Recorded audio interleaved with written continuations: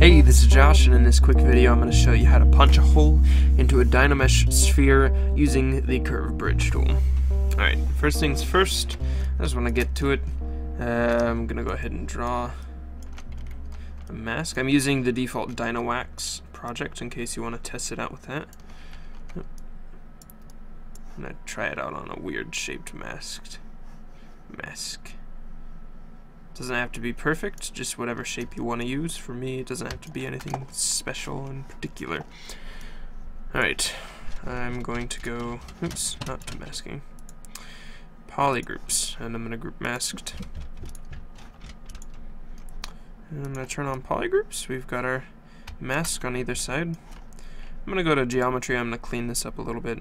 I'm going to do um, group loops. Uh, I'm just going to turn polish all the way up so it'll look nice and rounded on the edges. I'm going to regroup all that stuff. Okay.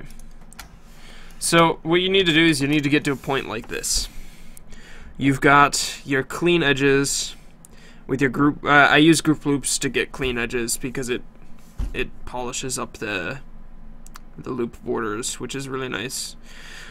Um, so what we need to do is we need to get to point with this where we've got our clean subtraction spot thing, whatever you want to call it. And then we want to delete hidden. So we just have two nice clean holes in our mesh. It'll make for a perfect um, curved bridge. So once you're here, you're good. Um, you're just gonna go over to the curve bridge tool. It's right here in your palette in case you want to know where it is. And step one with the curve bridge, I'm going to turn symmetry off. And we're just going to draw, using just left click, just draw around our hole. And just tap shift once, and it should find your surface. Um, and I'm just going to let go with my mouse.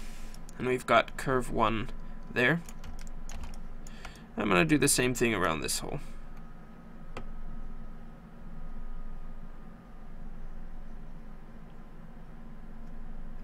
I'm just going to tap shift once again.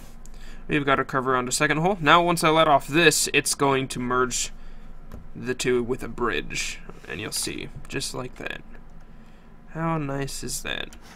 And then if you want to get rid of your curves, you can edit them if you want, I'm sure.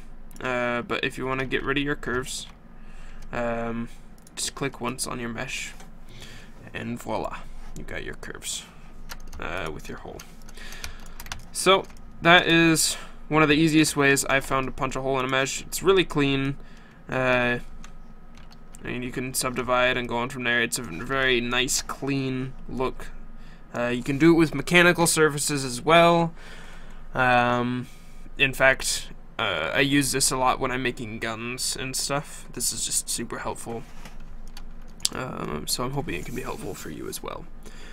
Well, that's about it. If you have any questions or comments, go ahead and toss them down below. And yeah, I guess that's it. I'll catch you next time.